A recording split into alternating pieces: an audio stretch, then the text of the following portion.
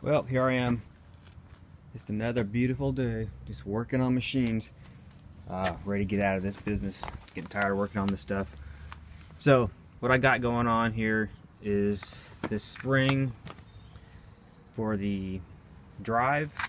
I don't know why they use such a heavy spring.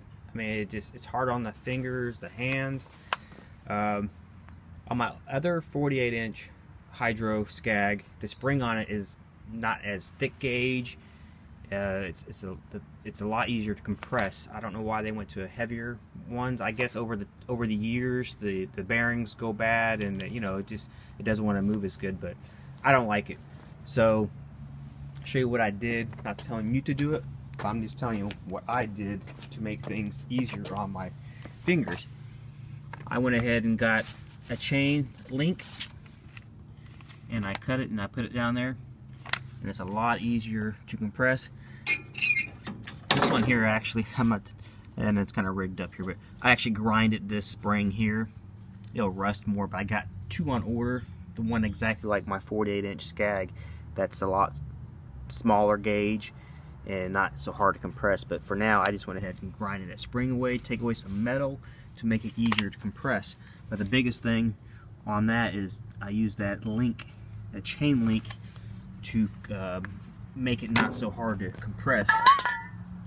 So it's a lot easier on that. But I'll show you what uh, on my 48 inch Scag. But the part number on my Scag is 48166. Um, That's item number 33 there, 481 four I'm sorry 481866 and that is the smaller spring for that one here. Not saying it's gonna work on yours but it works on my application. So let me walk to my Scag and show you it. I don't know without putting it side by side it may be hard to compare the two.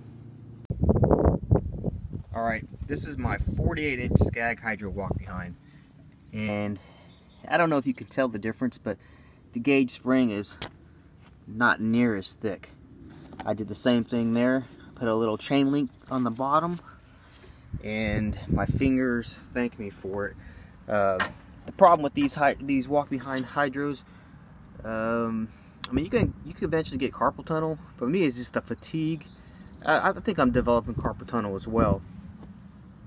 But that's what I got ordered from this particular model. This 48 inch Scag Hydro has a, a smaller spring. Not really smaller, it's just that the gauge on it is not as thick. It's easier to decompress.